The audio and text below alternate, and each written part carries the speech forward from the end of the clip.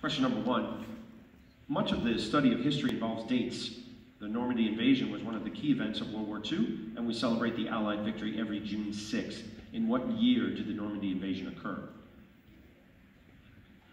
1944. 44, yes, well done.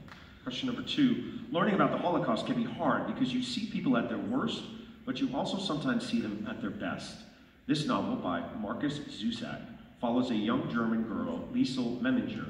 The book is narrated by death, and it focuses on the power of the written word in times of great strife. named the novel. The Book Thief. Correct.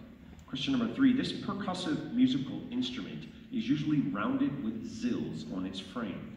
Some variants have a drum head to fill in the hole, and the instrument may have originated as long ago as 3,000 years in the Middle East. It's hard to say because this instrument appears in many different types of folk music. Name this handheld device anyone can play by hitting or shaking. Tambourine. Tambourines, right? Question number four. The pseudoscience of phrenology taught that bumps on this part of your body could be studied in order to indicate intelligence, susceptibility to criminal behavior, or other personality traits.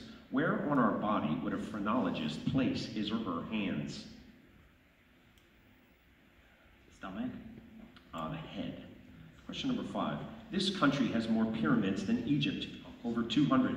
Located directly south from Egypt in ancient times, this country was part of the Kushite kingdom. Name this, king, this country that has split into two recently, with its capital remaining at Khartoum. Sudan. Sudan, that's right.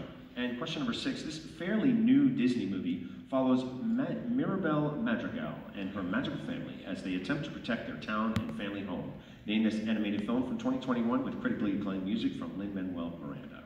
Encanto. Encanto is right, and it's about the teacher.